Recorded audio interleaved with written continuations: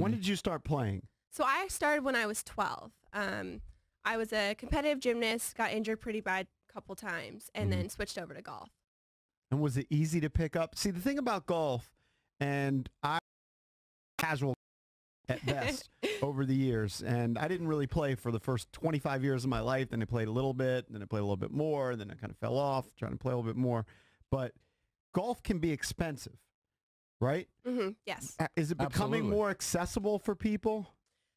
definitely. I think when people have this idea of golf, they think of um, old men in a country club drinking beer and smoking cigars. And yeah, that's some of That's it. the life. That's why Jason, that's why Jason embraces it Yeah. so much. There's nothing wrong with Everything that. you just Nothing wrong with that, He but- wraps his arms around it. That's, So- by the way, she said old guys. yeah.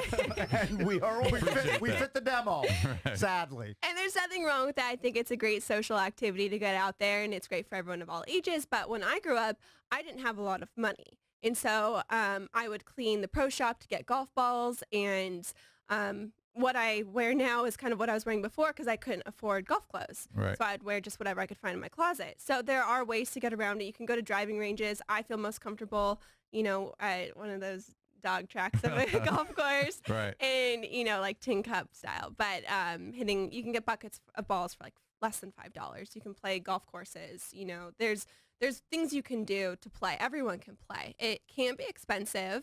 I mean but that's the same thing with everything. You can get a really expensive car but it'll still get you to you know point a point b. So It's also time consuming. I mean, you know, a married guy has got to tell his wife, all right, it's it's going to be a seven or eight hour commitment. Now, it's fine with for me. I'm, I'm fine with that. Right. I like how his becomes Now, seven well, or eight hours. yeah, well, but it's- I, can pull it in like It's five, hours on the course, but then Well, it's you two got to hours drive to the course. Yeah, you drive Yeah. to the course. You're driving home. You're having Yeah. a cocktail after the round or two or three. um, so it's it can be time consuming. Yes, it could be expensive because equipment's not cheap.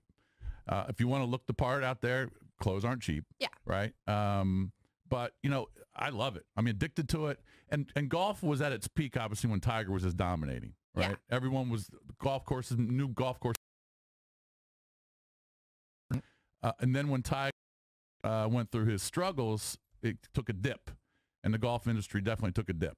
But do you you feel like it's coming back? oh my gosh yeah i was at Yeah. the masters uh, this year and obviously tiger's making his comeback and it just had See, this I, knew, I energy did see you at the Masters. What did you do?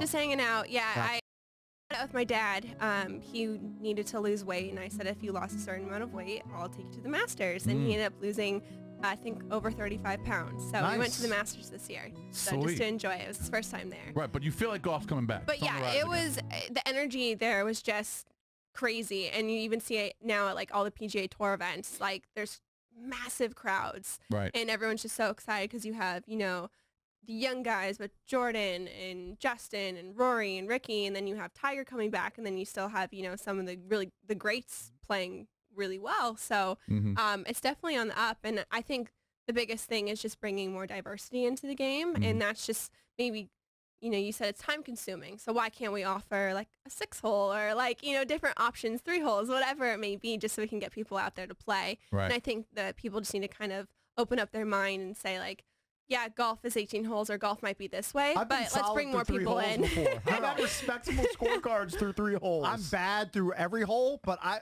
I'm kind of with her on if I could go and play a three hole round or a Yeah. six hole round. just sneak and out before I'd after be done work. in an hour.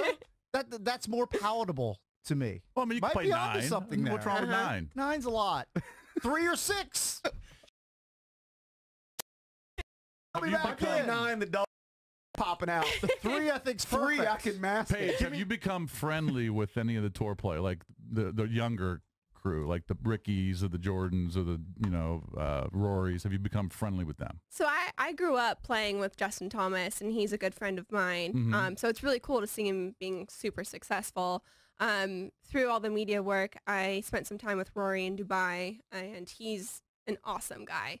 So yeah, um, I was a starter also in Dubai, so I met everyone there that day. And uh, you start to meet these guys, and they're they're really good guys. So it's Mhm. it's fun to see them. Is that Dubai? Was that yeah, Dubai? I played that and then obviously had a very terrible experience.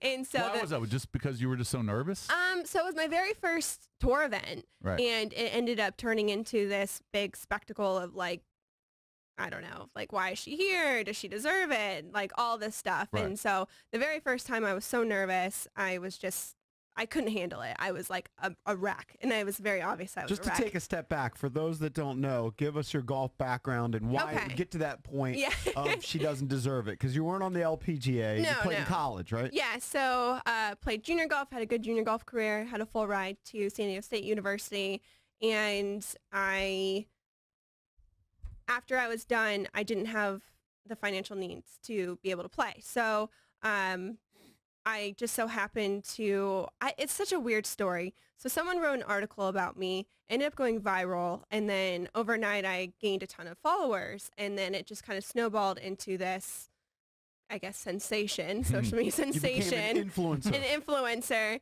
and I ended up getting an invite to um, this tournament